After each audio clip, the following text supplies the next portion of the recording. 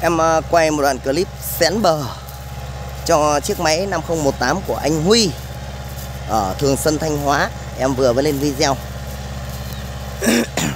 thì uh, lúc nãy là video nó hơi dài nên là em uh, tạm dừng và cắt bớt. Giờ thì uh, em sẽ quay một đường xén bờ. Đây là cái bờ. Đó. Tí nữa em sẽ cần cảnh bên kia thì bên uh, đấy là anh Huy anh đang bóc bờ rồi. Nhưng mà em không lội băng qua ruộng nữa.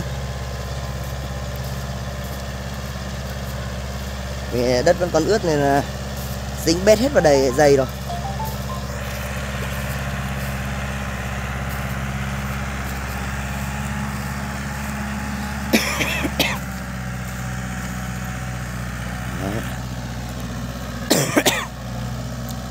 Mấy hôm nay hò quá các bạn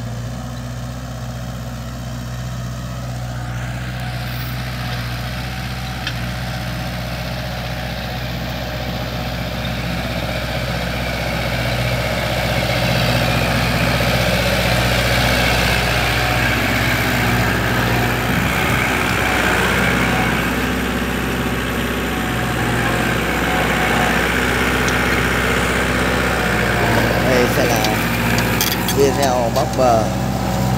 Anh ấy vẫn còn đang đi xa bờ quá các bác.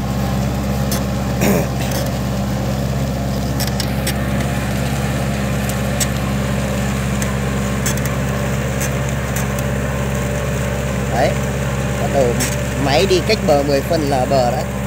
Nhận chui chui rồi.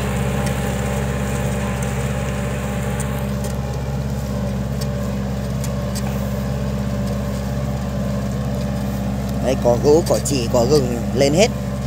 Đứt tiệt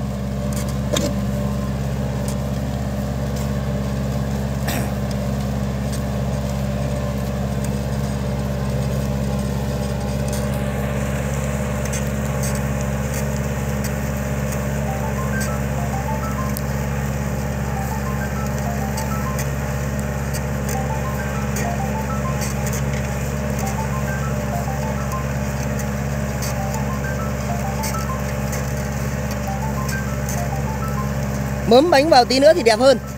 Bánh đi xa quá và cách mất 20 phân rồi. Chỉ cách 10 phân thôi. Cách 10 phân là nó gọt sạch ra luôn. Sợ mất bờ